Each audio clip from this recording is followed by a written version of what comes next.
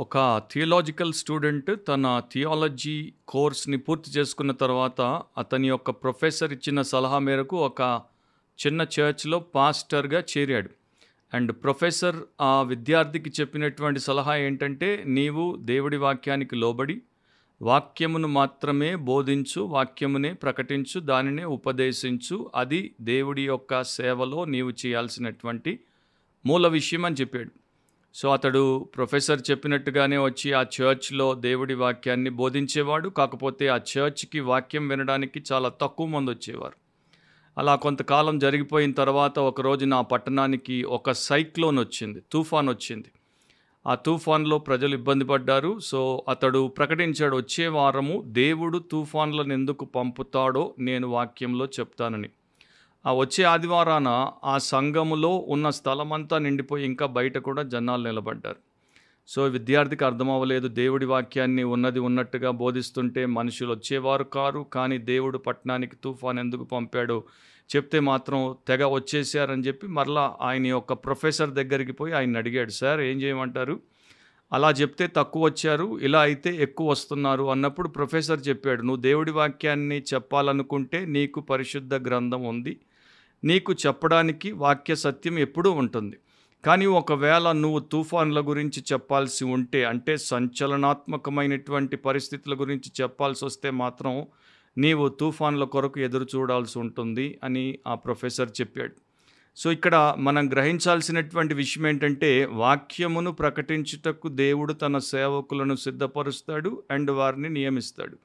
కానీ ఎప్పుడైతే సేవకులు దేవుడి యొక్క విధి విధానాలకు వేరుగా, వారి చుట్టూ ఉన్నటువంటి పరిస్థితుల ప్రకారం ప్రభావితమైపోయి అటు ఇటు వెళ్ళిపోతారో, అప్పుడు దేవుడికి, దేవుడి సేవకి, దేవుడి సంఘానికి, సమాజానికి అన్నింటికి కూడా అన్యాయం చేసిన వారవుతారు. సో, మన జీవితంలో గ్రహించాల్సింది ఏంటంటే సేవ అనేది, పరిచర్య అనేది, మినిస్ట్రీ అనేది లేఖనాల ప్రకారం మాత్రమే జరగాలే తప్ప మన చుట్టూ ఉన్నటువంటి పరిస్థితులను బట్టి దానికి అనుకూలంగా జరిగేటువంటిదిగా ఉండదు. లేఖనాలు ప్రతి విషయాన్ని, ప్రతి పరిస్థితిని అడ్రస్ చేస్తాయి. వాటి గురించి బోధలో దేవుడి వాక్యముగా వివరిస్తాయి, బోధిస్తాయి, నేర్పిస్తాయి. కానీ పరిస్థితులకు అనుకూలంగా పరిచారకులు, ప్రసంగికులు మారిపోతే ప్రభువుకి వారు సరైనటువంటి నమ్మకమైనటువంటి సేవకులుగా ఉండరు. అండ్ ఎక్కువ మంది అలాంటి పరిస్థితుల్లోనే మనకు ప్రస్తుతం కనిపిస్తారు. బిబ్లికలీ స్పీకింగ్ వాక్యానుసారంగా మాట్లాడితే అనే క్రిస్టియన్ పాడ్‌కాస్ట్‌కి యేసుక్రీస్తు సర్వోన్నతమైన నామమున మీలో ప్రతి ఒక్కరికి స్వాగతం. ప్రతి వారం మనం దేవుడి వాక్యము నుండి ఈ విషయాలు అనేక భక్తికి, జీవానికి సంబంధించిన ఆత్మీయ సత్యాలు నేర్చుకుంటున్నాం. ఈ లోకంలో సూర్యుని కింద ఉన్నటువంటి ఏ అంశమును గూర్చి అయినా సరే మనం వాక్యం నుండి నేర్చుకొని వాక్యానుసారంగా ఆలోచించుట మొదలుపెట్టినప్పుడే వాక్యానుసారమైనటువంటి జీవన విధానమును కలిగిన వారమై ఉంటాం. అండ్ అప్పుడు మాత్రమే వాక్యమైనటువంటి యేసు ప్రభువును వెంబడించే ఆయన శిష్యులము అని లేక అనుచరులము అని అనిపించుకోగలం. ఈరోజు మన ఎపిసోడ్‌లో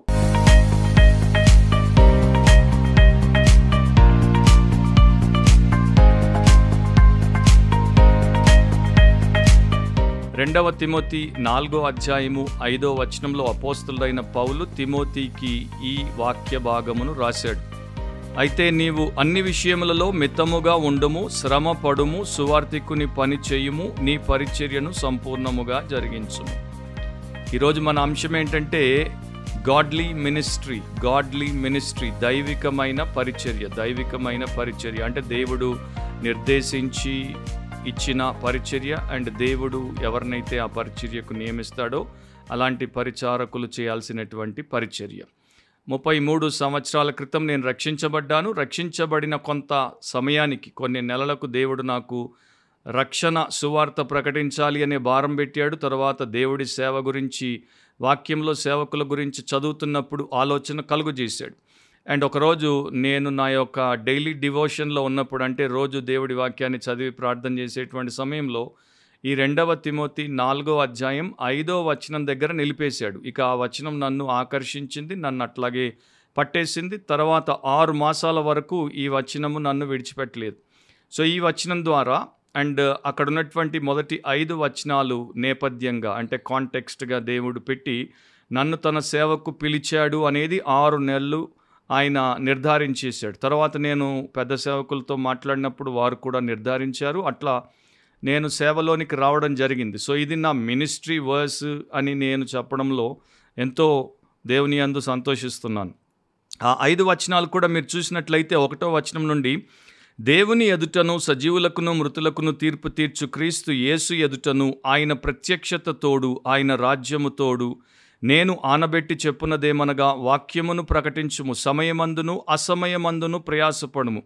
సంపూర్ణమైన దీర్ఘశాంతముతో ఉపదేశించుచు ఖండించుము గద్దించుము బుద్ధి చెప్పుము.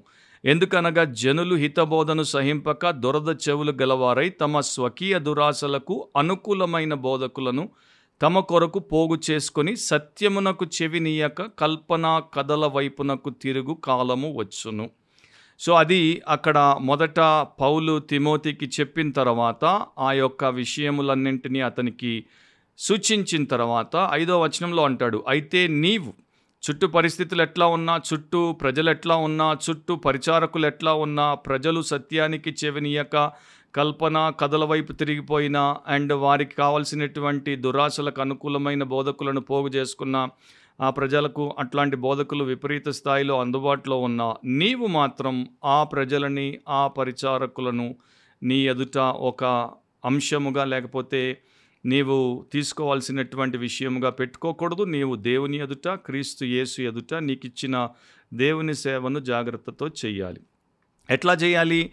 నీవు అన్ని విషయములలో మితముగా ఉండుము శ్రమపడుము సువార్థికుని పని చేయుము నీ పరిచర్యను సంపూర్ణముగా జరిగించు రెండు వేల సంవత్సరాల క్రితము తన ఆత్మీయ కుమారుడు దేవుని సేవకుడు యవనస్తుడైనటువంటి తిమోతికి పౌలు ద్వారా దేవుడిచ్చినటువంటి ఆదేశం. ఈరోజు మనకి ఇంకా ఎక్కువ గంభీరమైనటువంటి స్థాయిలో ఉపయోగకరమైనటువంటిదిగా ఉంది. ఎందుకంటే మన చుట్టూ ఇప్పుడు ఇంకా అవే పరిస్థితులు కానీ తీవ్ర స్థాయికి చేరిపోయాయి. కనుక మనం ఎంతో జాగ్రత్తగా దేవుడి సేవను అర్థం చేసుకోవడం దాన్ని ఆత్మీయముగా అండ్ తీవ్రతర స్థితిలో జరిగించడం అవసరం.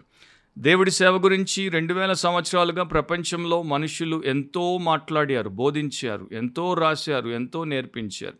అదంతా ఒక ఎత్తు. కానీ బైబిల్లో దేవుడు తన వాక్యంలో మనకు దేవుడి సేవ ఎలా ఉంటుంది ఎలా ఉండాలి ఎలా దాన్ని చేసేవారు జరిగించాలి అనేది ఖచ్చితంగా రాశాడు కనుక అదే మనకు మూలమైనటువంటి విషయం అదే మనకు మూల పాఠం అది తప్ప మరి ఇంకొకటి మనకు అవసరం లేదు. సో ఈ ఐదో వచనంలో పరిచర్య గురించి రాసినప్పుడు దాంట్లో నాలుగు ఆజ్ఞలు ఇచ్చాడు. ఫోర్ ఇంపెరిటివ్స్ అంటారు. పౌలు ఆ సేవకుడైనటువంటి తిమోతికి నాలుగు ఆదేశాలు లేక ఫోర్ కమాండ్మెంట్స్ని ఇచ్చాడు. వాటిని ఒక్కొక్కటి మనము చూసుకుంటూ పోదాం. అండ్ ఈ సేవకు పిలువబడినటువంటి ప్రతి సేవకుడు సేవకురాలు సేవకురాలు అన్నప్పుడు సండే స్కూల్ మినిస్ట్రీ కావచ్చు లేకపోతే స్త్రీల పరిచర్య కావచ్చు లేకపోతే సువార్త పరిచర్య కావచ్చు.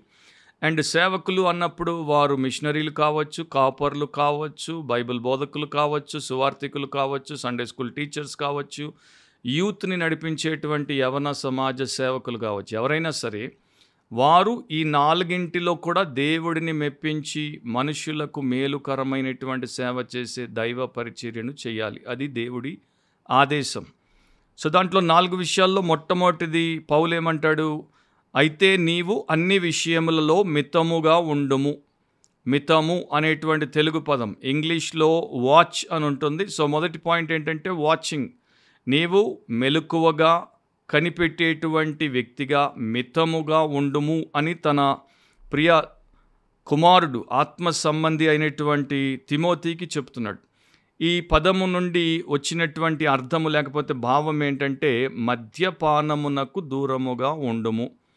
ఒకవేళ ద్రాక్ష రసము తీసుకోవాల్సి వస్తే తక్కువగా తీసుకో అనే ఉద్దేశంతో చెప్తున్నాడు. ఆయన యొక్క ఉద్దేశం ఏంటంటే మత్తుడవై ఉండకుము మైకము కింద ఉండకుము నిన్ను మత్తుగా మార్చేటువంటి ఏ పదార్థము ఏ విషయానికి నీవు లోబడకుండా ఉండుము. వాటి వశమున నీవు పడకుము. ఎందుకంటే మత్తులైనటువంటి వారు విపరీతంగా ప్రవర్తిస్తారు.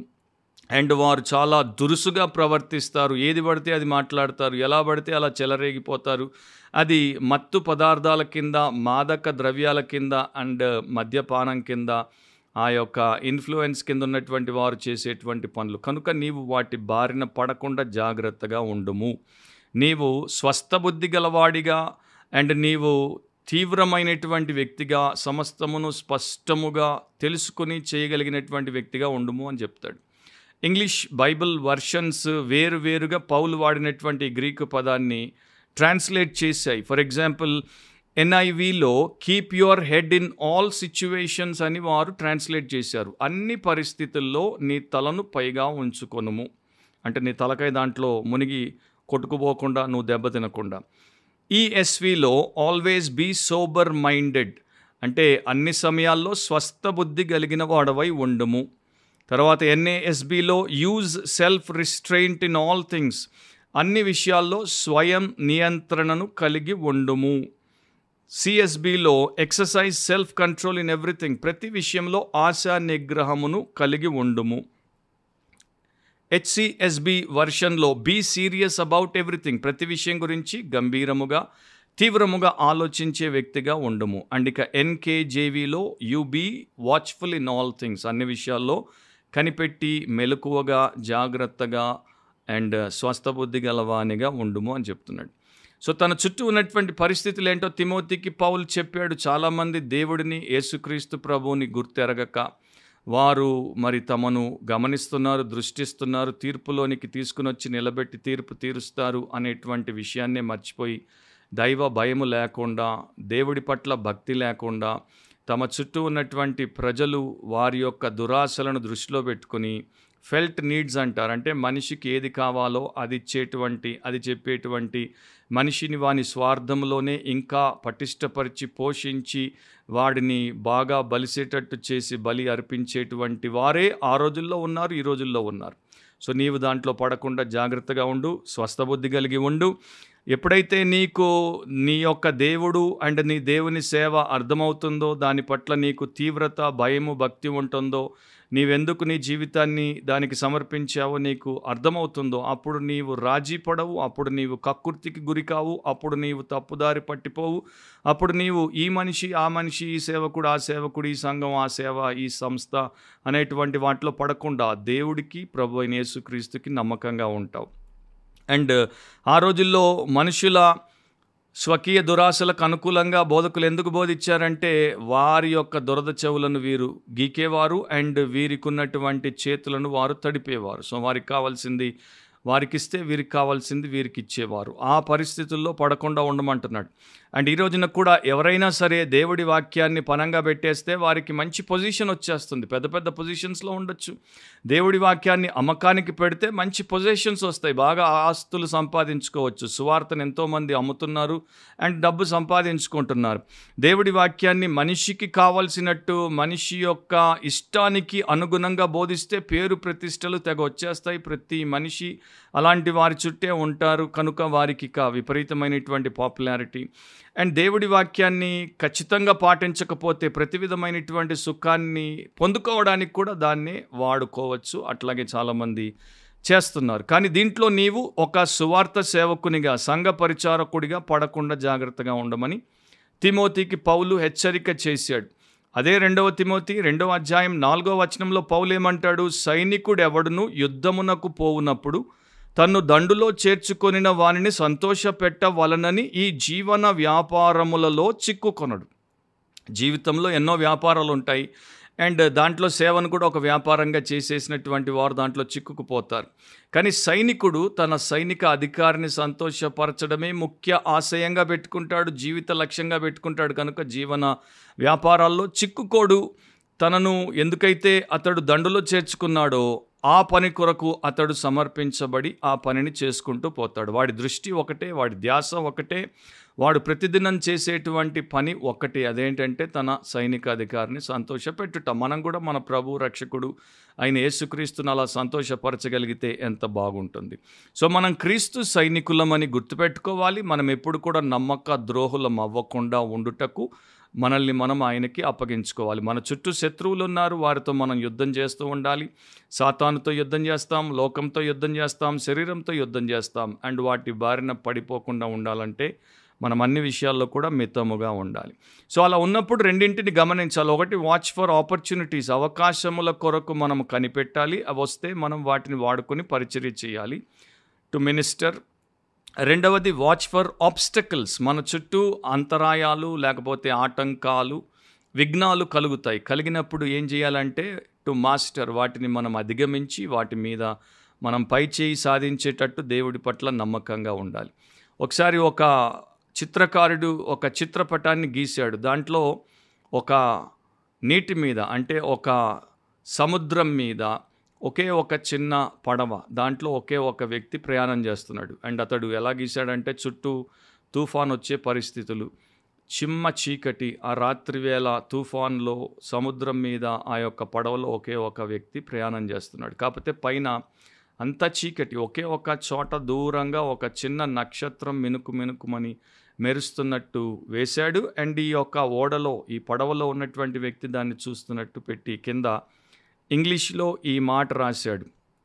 If I lose that I'm lost ఆ నక్షత్రాన్ని ఒకవేళ నేను కోల్పోతే ఈ సముద్రంలో నేను నశించిపోతాను. నన్ను గమ్యానికి తీసుకొచ్చేది సురక్షితంగా ఉంచేది ఆ నక్షత్రమే అన్నట్టు దాంట్లో పెట్టాడు. సో మనకు కూడా విశ్వాసమునకు కర్త దానిని కొనసాగించి క్రీస్తు వైపు చూస్తేనే మన ఎదుట ఉంచబడినటువంటి పందెంలో ఓపికతో పరిగెత్తగలం. అండ్ దేవుడి ద్వారా మనకు ఇవ్వబడినటువంటి పరిచర్యలో నమ్మకంగా ఫలభరితులం అవ్వగలం. రెండవది విల్లింగ్ అనేటువంటి అంశమును గురించి. అంటే దేని కొరకు సేవకుడు దైవ పరిచారకుడు సిద్ధపడి ఉండాలో దాని గురించి నేర్పిస్తాడు. రెండో విషయం ఆజ్ఞ ఏంటంటే శ్రమ పడుము అన్నాడు.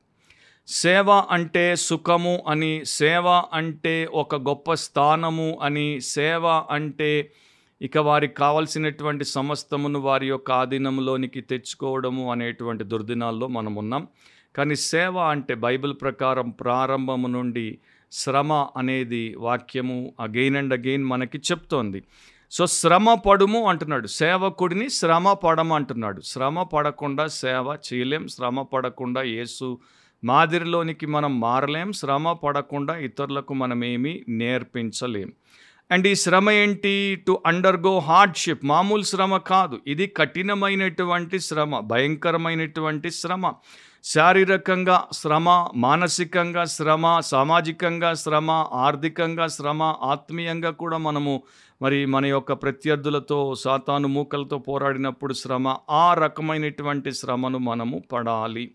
సో పరిచర్య సులువైనటువంటిది కాదు. చాలామంది ఈ యొక్క సేవలోకి వద్దాం అనుకునేటువంటి వారు బైబిల్ కాలేజ్కి వెళ్తారు మూడేళ్ళు ఐదేళ్ళు. వాట్ ఎవర్ టైం వారు అక్కడ ట్రైనింగ్ పొందిన తర్వాత వారు అనుకుంటారు we have arrived we have achieved మేము సాధించేసాం ఇక మేము శిఖరం పైకి వచ్చేసాం అనుకుంటారు. కాదు అది వారి యొక్క బ్యాటిల్ బిగినింగ్ అంటే వారికి సైన్యంలో తర్ఫీదు పొందారు. ఇప్పుడు యుద్ధరంగంలోనికి వచ్చారు. ఇక ఇప్పుడు వారికి గాయాలు అవుతాయి. ఇక ఇప్పుడు వారి మీదకి తుపాకులు ఎత్తి పేలుస్తారు. ఇప్పుడు వారి మీదకి కత్తులు కటారాలు బాణాలు ఈటలతో జనం వస్తుంది. ఇప్పుడు ఇక వారు అన్నింటినీ తట్టుకోవాలి నిలబడాలి. యుద్ధ భూమిలో ఒకడు యుద్ధం చేస్తున్నప్పుడు యుద్ధం తీక్షణంగా జరుగుతున్నప్పుడు అది సుఖం ఎట్లా అవుతుంది? అది ప్రతి విధమైనటువంటి శ్రమకు ప్రాణాంతక పరిస్థితులకు ఒక అద్భుతమైనటువంటి చిత్రంగా కనపడుతుంది.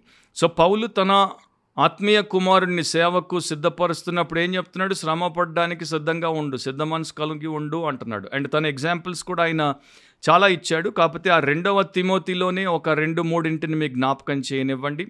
రెండవ తిమోతి ఒకటో అధ్యాయం ఎనిమిదవ వచనంలో పౌలు రాశాడు కాబట్టి నీవు మన ప్రభు విషయమైన సాక్ష్యమును గూర్చి అయినను ఆయన ఖైదీనైన నన్ను గూర్చి అయినను సిగ్గుపడక. సో పౌలు శ్రమ ఎలా పడ్డాడంటే యేసుప్రభు కొరకు సువార్త కొరకు నీతి కొరకు ఖైదీగా బంధింపబడ్డాడు చెరసాల్లో ఉంచబడ్డాడు. దేవుని శక్తిని బట్టి సువార్త నిమిత్తమైన శ్రమానుభవములో పాలివాడవై ఉండుము. సో సువార్త నిమిత్తం అతడు శ్రమల పాలైనప్పుడు ఆ అనుభవంలో నీవు కూడా పాలివాడవుగా ఉండుము అని తిమోతిని అతడు సిద్ధపరుస్తున్నాడు. రెండవ తిమోతి రెండవ అధ్యాయం మూడవ వచనంలో ఏమంటాడు? క్రీస్తు యేసు యొక్క మంచి సైనికుని వలె నాతో కూడా శ్రమను అనుభవించుము. సో పౌలు అనుభవిస్తున్నాడు అలాగే తిమోతిని కూడా అనుభవించుము అని చెప్తాడు. రెండవ తిమోతి రెండవ అధ్యాయం తొమ్మిదవ వచనంలో అంటాడు నేను నేరస్తుడనై ఉన్నట్టు ఆ సువార్త విషయమై సంఖ్యలతో బంధింపబడి ఖైదీగా ఉండడమే కాదు సంఖ్యలతో బంధింపబడ్డాడు శ్రమ పడుచున్నాను. అయినను దేవుని వాక్యం బంధింపబడి ఉండలేదు. రెండవ తిమోతి మూడు పన్నెండులో రాశాడు క్రీస్తు యేసునందు సద్భక్తితో బ్రతుకను ఉద్దేశించి వారందరూ హింస పొందుదురు సో ఇది దేవుడి వాక్యం తిరుగులేని సత్యం కనుక తిమోతిని శ్రమ కొరకు సిద్ధంగా ఉండమని చెప్తున్నాడు కానీ ఈ రోజుల్లో చాలామంది సాఫ్టీస్ అంటారు. అంటే చాలా నాజూకుగా, శుతిమెత్తని మరి అలా గులాబీ పువ్వులాగా ఉండి, ఏ రకమైనటువంటి ఇబ్బంది లేకుండా, నింద లేకుండా, అవమానం లేకుండా, హింస లేకుండా, వ్యతిరేకత లేకుండా, ఆటంకం లేకుండా సేవ చేద్దాం, అందరిని సంతోషపరుద్దాం అనుకునేటువంటి వారు ఎట్లా తయారైపోతున్నారంటే, వారు సత్యాన్ని ప్రకటించరు. ఎందుకంటే ఈ పరిస్థితుల్లో వారు సత్యాన్ని ప్రకటించలేరు. సత్యాన్ని ప్రకటిస్తే అది తప్పకుండా మనుషుల్ని మీకు వ్యతిరేకుల్నిగా తయారు చేస్తుంది. సత్యం చెప్పినందుకే కదా పరిసయ్యులు, శాస్త్రులు, ప్రధాన యాజకులు యేసుప్రభు మీదికి లేచొచ్చారు. ఆయన్ని సిలువ వేసేంత వరకు నిద్రపోలేదు. సో సత్యాన్ని ప్రకటించుట అంటే చాలామందికి ఇబ్బందికరం. ఎందుకంటే ఎవరిని కూడా నేను టచ్ చేయకూడదు. కానీ అబద్ధ బోధలు జరుగుతున్నప్పుడు సత్యబోధ చేస్తే, అబద్ధానికి వ్యతిరేకంగా, మోసానికి వ్యతిరేకంగా సత్యాన్ని ప్రకటిస్తే తప్పకుండా మనము శ్రమ పాలవుతాం. మన సొంత వారే కుటుంబం కావచ్చు, సంఘం కావచ్చు, సమాజం కావచ్చు, సేవా రంగంలో ఉన్నటువంటి తోటి సేవకులు కావచ్చు, మనల్ని విసర్జించేస్తారు, మనల్ని వెలివేస్తారు, మనల్ని బహిష్కరిస్తారు. అండ్ ఇక మత పెద్దల నుండి మనకు విపరీతమైనటువంటి ఇబ్బందులు కలుగుతాయి. ఎందుకంటే మనం సత్యం చెప్పి, వాక్యం బోధించి, దేవుడి చిత్తమును చేసి వారి కోపానికి గురైపోతాం గనుక. ఇక ఆ ప్రకారం చేస్తే మనకొచ్చేటువంటి ఆర్థిక లాభము నుండి మనము మరి నష్టపోతాం. ఎందుకంటే మనుషులు ఎప్పుడైతే మనం ఖచ్చితంగా వాక్యాన్ని చెప్తామో మనకి కానుకలు ఇవ్వరు, పంపరు, ఇచ్చేవారు కూడా మానేస్తారు. అండ్ మన సంఘాల్లో మనం సత్యాన్ని ప్రకటిస్తే అక్కడ ఉన్నటువంటి వారు మనల్ని ఉద్యోగాల్లో నుండి తీసేస్తే మనకొచ్చే జీతం భత్యం కూడా పోతుంది. అండ్ చాలామంది మనల్ని మీటింగ్స్‌కి పిలవకపోతే మనకి ఆదాయమే ఉండదు అని చాలామంది భయపడిపోతారు. అది వాస్తవమే. అండ్ అట్లా ఎంతోమంది ఇక సర్దుకుపోవడానికి ప్రయత్నిస్తారు. కానీ ఒక పాతకాలపు ఆలోచన ఏంటో చెప్తాను. ఒకప్పటి భక్తులు, ప్యూరిటన్ భక్తులు, రిఫార్మర్స్ ఎట్లా ఆలోచించేవారంటే, మేము రాజమహలులో కూర్చుని అందరి మన్నన పొంది అక్కడున్నటువంటి విందు ఆరగించుట కన్నా, మేము ఒక పూరి గుడిసెలో ఉండి మాతో మా ప్రభువైన యేసును సహవాసంలో పెట్టుకొని రొట్టె ముక్క తినుట, మంచినీళ్ళు తాగుట శ్రేయస్కరం అనుకునేవారు. మేము ఒంటరిగా యేసుతో ప్రయాణము చేయుట మాకు ఆశీర్వాదకరం అనుకునేవారు. అండ్ ఈ రోజుల్లో అట్లాంటి వారు, అట్లాంటి ఆలోచనలు చేసేవారు చాలా అరుదుగా మనకు కనిపిస్తారు. ఒక సేవకుడు అందుకే అన్నాడు, చాలామంది బోధకులు వారి యొక్క సేవ కష్టతరంగా ఉండకూడదు అని కోరుకుంటారు, ప్రార్థన చేస్తారు. కానీ దేవుడి పట్ల, దేవుడి వాక్యం పట్ల, దేవుడి సంఘం పట్ల, సువార్త పట్ల ఎవరైనా నమ్మకంగా ఉంటే తప్పకుండా వారు ఆ యొక్క శ్రమను ఎదుర్కోవలసి వస్తుంది. అప్పుడే వారి యొక్క పరిచర్య ఫలభరితంగా ఉంటుంది. లేకపోతే వారు పరిచర్య అనేది చేయనే చేయలేరు. England prime minister Winston Churchill రెండవ ప్రపంచ యుద్ధ సమయంలో నాట్జీ జర్మనీకి వ్యతిరేకంగా వారు పోరాడి వారిని వారే కాదు ప్రపంచాన్ని కూడా రక్షించాల్సినటువంటి సమయంలో ఒక స్పీచ్ ఇచ్చాడు. అది చాలా గంభీరమైన అండ్ ఎంతో శక్తివంతమైనటువంటి స్పీచ్. దాన్ని కోట్ చేస్తున్నాను. ఆయన తన ప్రజల్ని యుద్ధానికి సిద్ధపడమని చెప్పినప్పుడు వారితో ఇట్లా చెప్పాడు. నేను మీకేమి ఇవ్వగలను అని మీరు అనుకుంటున్నారేమో, నేను మీకేమీ ఇవ్వలేను. నేను మీకు ఇవ్వగలిగిందల్లా ఏంటి అంటే రక్తము, కన్నీరు, చెమట, శ్రమ. మన ఎదుట అత్యంత భయంకరమైనటువంటి పరిణామాలతో కూడిన విషయం ఉంది. దీని కొరకు మనము నెలలు నెలలు కష్టపడాలి, పెనుగులాడాలి. అండ్ మీరు నన్ను ఒకవేళ అడిగారనుకోండి మన యొక్క విధానం ఏంటి అని. మన విధానం ఏంటంటే మనం యుద్ధము చేయాలి. సముద్రం మీద యుద్ధం చేయాలి, భూమి మీద యుద్ధం చేయాలి, గాల్లో యుద్ధం చేయాలి. మన శక్తి అంతటితో, మన బలం అంతటితో దేవుడు మనకిచ్చినటువంటి ప్రతి సాధనంతో మన ఎదుట ఉన్నటువంటి ఆ భయంకర పిశాచితో అంటే జర్మన్ నాట్జీ హిట్లర్‌తో వాడి మూకలతో యుద్ధము చేయాలి. అండ్ ఇది ఇంతవరకు ఎప్పుడు కూడా ఏ సమాజంలో కూడా చేయనంత కిరాతకాలు చేసింది కనుక వారికి వ్యతిరేకంగా యుద్ధము చేయాలి. ఒకవేళ మీరు నన్ను మన లక్ష్యం ఏంటి అని అడిగితే అది ఒకే ఒక పదం విక్టరీ అంటే జయం. మనం ఎట్టి పరిస్థితుల్లో ఎంత ఖర్చయినా సరే, ఎంత బలమైనా సరే వినియోగించి ఎన్ని కష్టాలైనా పడి జయాన్ని సాధించాలి. అండ్ దాని కొరకు మనం ఎంతో దూరం పోవాలి. మనం బతుకుంటే సరిపోదు కానీ మనము జయము సాధించాలి. అప్పుడే బ్రిటిష్ సామ్రాజ్యం అనేది ఉనికిలో ఉంటుంది. బ్రిటిష్ సామ్రాజ్యం దేని కొరకైతే నిలబడిందో అదంతా కూడా ఉనికిలో ఉంటుంది. అండ్ మానవులు తర్వాత కాలంలో నెమ్మదితో నిరీక్షణ కలిగి బ్రతకడానికి అవకాశం ఉంటుంది. సో ఇది మన యొక్క నిరీక్షణ. ఒకవేళ మనం ఇప్పుడు విఫలమైతే ఇక లోకానికి భవిష్యత్ అనేది ఉండదు. సో ఎండ్ ఆఫ్ కోట్ ఆ ప్రకారం విన్స్టన్ చర్చిల్ తన ప్రజల్ని పురికొల్పేసరికి అందరూ నిలబడ్డారు. అండ్ యుద్ధంలో జయించారు కనుక ఈ రోజున మనము ఇలాంటి ప్రపంచాన్ని నాట్జీలు లేనటువంటి మంచి ప్రపంచాన్ని కలిగి ఉన్నాం. వ్యాన్ శావనర్ అనేవాడు ఒక బోధకుడు ఎట్లా ఉండాలి అంటే అతడికి పండితుడి యొక్క మనస్సు ఉండాలి అంటే పండితుడి యొక్క మైండ్ ఉండాలి చిన్న పిల్లవాని యొక్క హృదయం ఉండాలి కానీ ఖడ్గ మృగం వంటి వీపు ఉండాలి. Mind of a scholar heart of a child and the hide of a rhinoceros ఎందుకంటే అతడు అన్ని శ్రమలకు తట్టుకోవాలంటే ఖడ్గ మృగం యొక్క వీపు ఎంత బలంగా దృఢంగా ఉంటుందో మీకు తెలుసు కదా అట్లా ఉండాలంటున్నాడు. ఇంకొక భక్తుడు ఆయన పేరు నాకు తెలియదు ఎందుకంటే అన్నోన్ అని ఉంది. ఆయన ఇట్లా రాశాడు శ్రమలు మనల్ని బలపరుస్తాయి దుఃఖాలు మనల్ని మానవులము అని గుర్తు చేస్తాయి వైఫల్యాలు మనల్ని తగ్గింపుతో ఉంచుతాయి విజయాలు మనల్ని మెరిసేటట్టు చేస్తాయి కానీ దేవుడొక్కడే మనల్ని ముందుకు సాగిపోయేటట్టు చేస్తాడు. సో దేవుడొక్కడే మనల్ని ముందుకు సాగిపోయేటట్టు చేస్తాడు కనుక శ్రమలు వచ్చినప్పుడు దేవుడి మీద ఆధారపడి వాటిని దేవుడి ద్వారా జయించుకుంటూ ముందుకు పోవాలి. మూడవది సువార్థికుని పని చేయము అన్నాడు. మితముగా ఉండము శ్రమపడము అండ్ మూడవది సువార్థికుని పని చేయము. దీన్ని వర్కింగ్ అని మీరు రాసుకోవచ్చు. Do the work of an evangelist Timothy FS సంఘానికి అపోస్తులైన పౌలు యొక్క రాయబారిగా ప్రతినిధిగా అండ్ అక్కడ ఉన్నటువంటి ఒక అధ్యక్షునిగా కాపరిగా మనకు కనబడతాడు కాకపోతే అతడు దేవుని యొక్క సేవలో చేయాల్సినటువంటి ఒక ప్రధాన విషయాన్ని పౌలు అతనికి గుర్తు చేస్తున్నాడు ఏంటంటే సువార్థికుని యొక్క పని చేయుము నువ్వు ఎంత పెద్ద సంఘానికి కాపరివైనా నువ్వు ఎంత పెద్ద సేవా సంస్థకు అధినేతవైనా నీ ఒక సువార్థికుడవు నీ ఒక సాక్షివి ఎట్టి పరిస్థితుల్లో చుట్టూ నశించుచున్న ఆత్మలు ఉన్నప్పుడు వారికి యేసుక్రీస్తు యొక్క సువార్తను ప్రకటించుట నీ కనీస బాధ్యత కనీస కర్తవ్యం అనేది మర్చిపోకూడదు. బైబిల్ మనకి చెప్పేది ఏంటంటే మొట్టమొదటిసారి యేసుప్రభు ఆయన యొక్క శిష్యులను పిలిచినప్పుడు మత్తయి సువార్త నాలుగు పంతొమ్మిదిలో ఏమన్నాడు? నా వెంబడి రండి నేను మిమ్మను మనుష్యులను పట్టు జాలర్లుగా చేతునని వారితో చెప్పాను.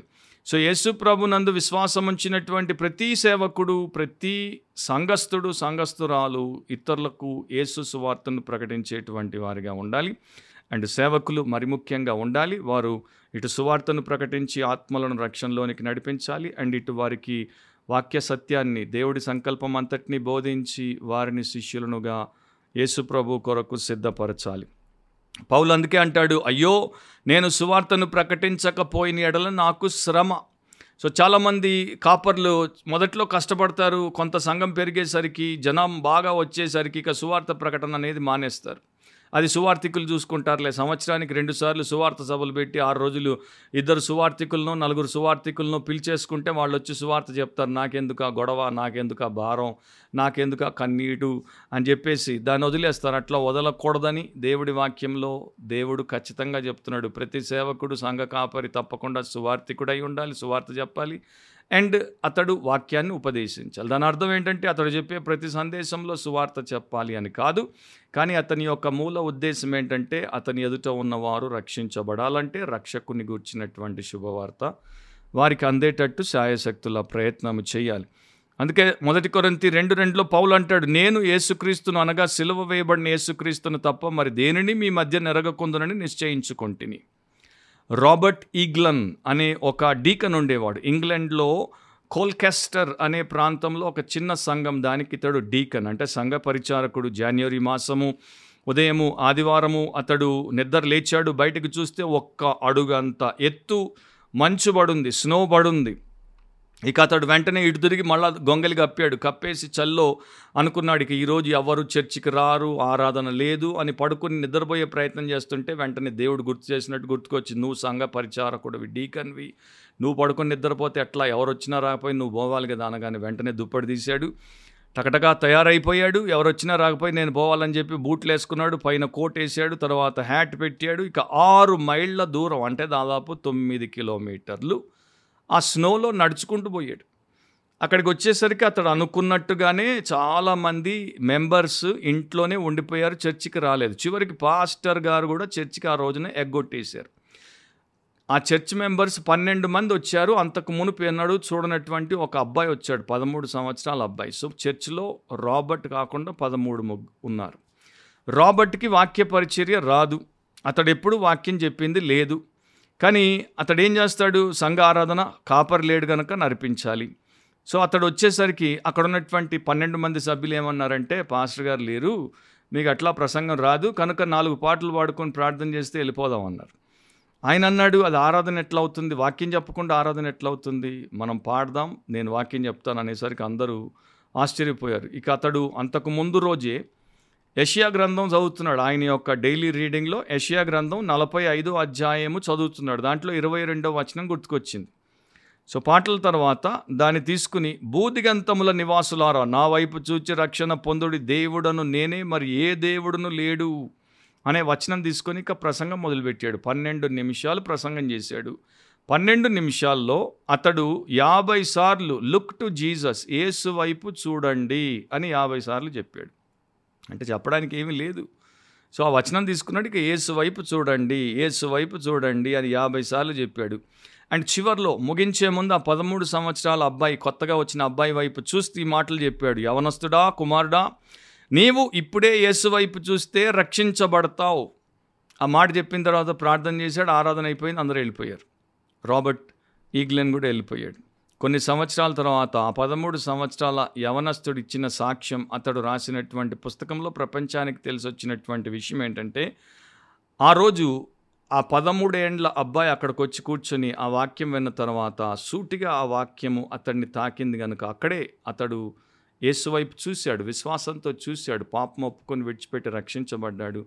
ఆ బిడ్డ ఎవరో కాదు చార్ల్స్ హ్యాడన్ స్పర్జన్ ప్రపంచ ప్రముఖ బోధకుడు అండ్ అలాంటి బోధకుడు మరొకడు లేడు అనేది చాలామంది పండితుల యొక్క ఆలోచన అభిప్రాయం. సో ఇతడు కూడా ఈ డీకన్ కూడా ఇంటికి మరి పరిమితమై ఉండి ఉంటే అతడు వచ్చి ఉండకపోయి ఉంటే అతడు ఆ రోజున చిన్న సువార్త వాక్యము చెప్పి ఉండకపోతే ప్రపంచానికి స్పర్జన్ దొరక్కపోయేవాడేమో. మనకి తెలియదు నాలుగవది వైండింగ్ అంటారు. వైండింగ్ అంటే ముగించుట. నీ పరిచర్యను సంపూర్ణముగా జరిగించుము అంటున్నాడు. మితముగా ఉండమన్నాడు శ్రమపడమన్నాడు సువార్థికుని పని చేయమన్నాడు. నీ పరిచర్యను సంపూర్ణముగా జరిగించుము. పరిచర్య చేసేటువంటి వారు ఎంతో జాగ్రత్తగా ఉండాలి పరిశుద్ధంగా ఉండాలి తీవ్రంగా ఉండాలి నమ్మకంగా ఉండాలి. అండ్ వారు చురుకుగా ఉండాలి. సోమరితనం అనేది పరిచర్యలో ఉండకూడదు. పరిచర్యలో లోటుపాట్లు ఉండకుండా కొదువలు లేకుండా ఎక్కడా కూడా అది బలహీనం అవ్వకుండా వెనకబడకుండా దాని పట్ల తనకున్న బాధ్యత అంతా నెరవేర్చేటువంటి వానిగా సేవకుడు ఉండాలి దైవ పరిచారకులు ఉండాలి. సో ఫుల్ఫిల్ యువర్ మినిస్ట్రీ అని అంటున్నాడు. నీ పరిచర్యను పరిపూర్ణముగా సంపూర్ణముగా జరిగించు. రెండు వచనాలు నేను వాక్యం నుండి మీకు జ్ఞాపకం చేస్తాను. అపోస్తల కార్యములు పన్నెండో అధ్యాయం ఇరవై ఐదో వచనంలో బర్ణబాయు సౌలును తమ పరిచర్య నెరవేర్చిన తరువాత మార్కు అను మారు పేరు గల యోహానును వెంటబెట్టుకుని ఎరుషలేము నుండి తిరిగి వచ్చింది సో వారు సేవకు వెళ్ళారు దాన్ని పూర్తి చేసుకొని వెనక్కి వచ్చారు మధ్యలో వదిలేసి రాలేదు. అరాకొర చేసి రాలేదు. హండ్రెడ్ పర్సెంట్ నూటికి నూరు శాతం హృదయపూర్వకంగా మనసు పెట్టి బలంతో వారు పరిచయం చేసి వచ్చారు. కొలసి పత్రిక నాలుగు పదిహేడులో అందుకనే అపోస్తులైన పౌలు రాస్తాడు మరియు ప్రభునందు నీకు అప్పగింపబడిన పరిచర్యను నెరవేర్చుటకు దాని గురించి జాగ్రత్త పడుమని అర్కిప్పుతో చెప్పుడి. సో దేవుడి పరిచర్య ఎంతో ఎంతో ప్రశస్తమైనది. దానికి మనం పూర్తి న్యాయము చేయాలంటే దాన్ని సంపూర్ణముగా నెరవేర్చాలి. సంపూర్ణంగా నెరవేర్చాలంటే మనకి దేవుడు దాన్ని ఎలా నెరవేర్చమని వాక్యంలో రాయించాడో దాన్ని తెలుసుకుని దాని ప్రకారం చేస్తే సంపూర్ణంగా దాన్ని నెరవేర్చుటకు యేసుక్రీస్తు యొక్క కృప మనల్ని బలపరుస్తుంది. చార్ల్స్ పర్జనే ఒక మాట అనేవాడు. ఒక పరిచారకుడు ఎప్పుడు కూడా తన గురించి ఇతరులు ఏమనుకుంటున్నారు అనే దాని గురించి పట్టించుకోకూడదు. మనుషుల అభిప్రాయాల గురించి పట్టించుకోకూడదు. ఒకవేళ అతడు పట్టించుకోవడం మొదలు పెడితే అతడు ఆ యొక్క పరిచర్యకు పనికి రాడు. ఎందుకంటే పది మంది ఉంటే పది రకాలు అనుకుంటారు. వాళ్ళు ఏమనుకుంటే మనకెందుకు? మనం దేవుడు ఏమనుకుంటున్నాడో చూడాలి. మనకేం చెప్పి ఆదేశించాడో చూడాలి. దాని ప్రకారం మనం సేవ చేయాలి. అంతే మన బాధ్యత. సో అలా ఒక సేవకుడు ఉంటే అతని యొక్క సేవ నెరవేర్పులోనికి వస్తుంది. అండ్ ఇప్పుడు సేవ దేవుడు ఒక్కొక్కరికి విశ్వాసమును పరిమాణము చొప్పునిచ్చాడు. అలాగే దేవుడు ఒక్కొక్కరికి తలాంతులను తన ఇష్టానుసారంగా ఇచ్చాడు. ఒక ఆయనకు ఐదు ఇచ్చాడు ఒక ఆయనకి రెండు ఇచ్చాడు ఒక ఆయనకు ఒకటి ఇచ్చాడు. ఒక్కొక్కరిని ఒక్కొక్క ప్రాంతంలో పెట్టాడు ఒక్కొక్క తరంలో పెట్టాడు ఒక్కొక్క జనం కోసం పెట్టాడు ఒక్కొక్క విధానంలో వారు సేవ చేయడం కోసం పెట్టాడు. సో అందరూ మేము పౌల్లాగే అంత గొప్ప అపోస్తలం అవ్వాలి పౌల్లాగే అంత గొప్ప ప్రపంచ ప్రఖ్యాతిగాంచిన సేవ చేయాలి పౌల్లాగే మేము ఇంత రాయాలి పౌల్లాగే అన్ని సంఘాలు కట్టాలి అనుకుంటే అవ్వదు. ఎందుకంటే పౌలు తిమోతికి చెప్పినప్పుడు తిమోతి పరిచర్యను తిమోతిని చేయమన్నాడు. తిమోతి పౌలు యొక్క పరిచర్యను చేయడానికి పిలువబడలేదని పౌలుకు తెలుసు తిమోతికి తెలుసు అండ్ దేవుడి యొక్క వాక్యంలో అది మనకి స్పష్టంగా కనబడుతుంది. సో పౌల్లాగా నాకు దేవుడిచ్చిన పరిచర్యను నేను చేస్తాను తిమోతిలాగా దేవుడు నీకు ఇచ్చిన పరిచర్యను నువ్వు చెయ్యి. నన్ను నువ్వు కాపీ కొట్టి నీవు అటు ఇటు అయి నీ సేవను చేయకుండా పోకూడదు. మంచి విషయాల్లో నీవు నన్ను అనుకరించు. అది కూడా చెప్తాడు రెండవ తిమోతి మూడో అధ్యాయంలో. కానీ నా సేవ ఆ సేవలాగా ఉండాలి ఈ పాస్టర్ గారి సేవలాగా ఉండాలి ఆ చర్చ్ మినిస్ట్రీ లాగా ఉండాలి ఈ ఇవాంజలిస్టిక్ అవుట్ రీచ్ లాగా ఉండాలి అని మాత్రం మనం అనుకోకూడదు. చార్ల్స్ పర్జన్ గురించి మాట్లాడుతున్నాం కనుక ఇంకొక ఉదాంతం చెప్తాను ఆయన గురించి ఎంత చెప్పినా తక్కువే. ఒకసారి ఒక యవన సేవకుడు స్పర్జన్ దగ్గరికి వచ్చి బాధపడుతున్నాడు. నేను ఎంత ప్రయత్నం చేసినా ఎంత ప్రార్థన చేసినా ఎన్ని ప్రసంగాలు చేసినా చర్చి పెరగట్లేదండి అయ్యగారు. ఆయన అన్నాడు ఎంతమంది ఉన్నారు మీ చర్చిలో? అంటే వంద మంది. అంటే ప్రతివారం వంద మందికి ప్రసంగిస్తున్నావా అంటే అవునన్నాడు. జాగ్రత్త చాలా ఎక్కువ పెద్ద బాధ్యత అది. వంద ఆత్మల గురించి రేపు లెక్క చెప్పాలి. నువ్వే ధన్యుడవు నేనైతే వేల ఆత్మలకు లెక్క చెప్పాలన్నాడు. సో అది మర్చిపోతారు. సేవకులకి రెండంతల తీర్పు ఉంటుంది ఆత్మల లెక్క వారి దగ్గర దేవుడు అడుగుతాడని మర్చిపోయి ఇంతమంది కావాలి అంతమంది కావాలి ఇంత పెద్దది కావాలి అంత పెద్దది కావాలని వాక్యానికి వ్యతిరేకంగా ఆలోచించేవారు ఎక్కువ. సో పౌలు చెప్తున్నాడు తిమోతికి తిమోతి నేను చేసినవన్నీ నువ్వు చేస్తావు అని నేను నీకు చెప్పట్లేదు. నా సేవా విధానం నాకు సేవ పిలుపు నా యొక్క సేవ కృప లేకపోతే నా సేవ అభిషేకం దేవుడు ఎట్లా పెట్టాడో అట్లా ఉంటుంది నీది ఎట్లా పెట్టాడో అట్లా ఉంటుంది. సో నీ సేవ చిన్నదైనా పెద్దదైనా ఒక మోస్తారుదైనా నీ సేవలో నీవు ఎక్కువగా పేరు గడించినా గడించకపోయినా వెనకే వెనకమాటనే ఉన్నా నీవు మాత్రం సేవకు నమ్మకంగా ఉండు సేవ చెయ్యి. సో మన సేవ చిన్న పల్లెటూరులో ఉందా లేకపోతే కొండ మీద ఒక తెగ మధ్యలో ఉందా మన సేవ ఒక బిల్డింగ్లో ఉందా? ఒక స్కూల్ క్లాస్ రూమ్లో ఉందా? ఒక హోటల్ బ్యాంక్వెట్లో ఉందా? లేకపోతే ఓన్ బిల్డింగ్లో ఉందా? ఇవన్నీ ఇమెటీరియల్ ఇవన్నీ కూడా అసంబద్ధమైనవి. దేవుడు పిలిచిన సేవగా మన సేవ ఉందా? దాంట్లో మనము సేవను ఆయన మెచ్చే రీతిలో సంపూర్ణముగా జరిగించి దాన్ని ముగింపులోనికి తీసుకుని వస్తే బలా నమ్మకమైన మంచి దాసుడా అని ఆయన అంటాడా? అనేదే మనం చూసుకోవాలి. విలియం జేమ్స్ అనే భక్తుడు రాశాడు. మన జీవితము ఎప్పుడు గొప్పగా వాడబడుతుందంటే నిత్యత్వంలో నిలిచేటువంటి పనుల కొరకు అది ఖర్చు అయినప్పుడు సో మీరు ఒక నలుగురు సండే స్కూల్ విద్యార్థులకి వాక్యం చెప్పండి వారు రక్షించబడితే మీ పని నిత్యత్వంలో నిలబడుతుంది. మీరు ఒక పది మంది స్త్రీలను కూర్చోబెట్టి వాక్యం చెప్పండి వారు మార్పు చెంది దేవుణ్ణి మయంపరిస్తే మీ సేవ నిత్యత్వంలో నిలబడుతుంది. మీరు ఒక వంద మందికే యాభై మందికే పాస్టర్గా ముప్పై ఏళ్ళు సేవ చేయండి వారు శిష్యులైతే మీ సేవ నిత్యత్వంలో నిలబడుతుంది. మీరు పదివేల మందికి పేరు గడించినటువంటి సుఖభోగాలలో తేలి తూలేటువంటి మెగా పాస్టర్గా ఉండి చచ్చి నరకానికి పోతే మీకు మీ దగ్గరికి వచ్చిన వారికి ఎవరికి నిత్యత్వంలో దేవుడి సన్నిధానం ఉండనే ఉండదు. అండ్ ఎక్కడికి పోతారో యేసుప్రభు చెప్పాడు. సో ప్రభు అంటాడు యోహాన్ సువార్త పదిహేడో అధ్యాయం నాలుగులో చేయుటకు నీవు నాకిచ్చిన పని నేను సంపూర్ణముగా నెరవేర్చి భూమి మీద నిన్ను మహిమ పరిచితిని అది మనందరికీ ఉండాల్సినటువంటి దృష్టికోణం యాటిట్యూడ్ మన యొక్క మినిస్ట్రీ ఫిలాసఫీ ఏంటంటే యేసుప్రభు తండ్రితో అంటున్నాడు చేయడానికి నీవు నాకే పని ఇచ్చావో ఆ పని ఆయనకి ఇష్టముందా లేదా అనేది వేరే విషయం. సిలువ మీద పాపుల కొరకు ప్రాణాలు అర్పించి కిరాతకంగా చంపబడితే చనిపోయి సమాచేయబడి తిరిగి లేయాలి. ప్రతి సేవకుడికి అట్లాంటి పని ఇస్తే ఒక్కడు సేవకుడు రాడు. సో ప్రభు ఇక్కడేమంటున్నాడు? చేయుటకు నీవు నాకు ఇచ్చిన పని నేను సంపూర్ణంగా నెరవేర్చి భూమి మీద నిన్ను మహిమపరిచితిని. సో ఎప్పుడైతే మనకు దేవుడు ఇచ్చిన సేవను మనం పరిపూర్ణంగా సంపూర్ణంగా నెరవేరుస్తామో అప్పుడే దేవుణ్ణి మహిమ పరుస్తాం కనుక అది మన ఎండ్ గోల్ అయితే మనకెంతో క్షేమం. పౌలు కూడా అంటాడు ప్రభు తరహాలోనే. అపోస్తుల కార్యంలో ఇరవయో అధ్యాయం ఇరవై నాలుగో వచనంలో అయితే దేవుని కృపా సువార్తను గూర్చి సాక్ష్యమిచ్చేందు నా పరుగును నేను ప్రభు అయిన యేస్సు వలన పొందిన పరిచర్యను తుదముట్టింపవలనని నా ప్రాణమును నాకెంత మాత్రమును ప్రియమైనదిగా ఎంచుకొనుట లేదు. సో పౌలు తన ప్రాణాన్నే ప్రభు సేవ కొరకు దాన్ని పూర్తి చేయుట కొరకు పనంగా పెట్టేశాడు.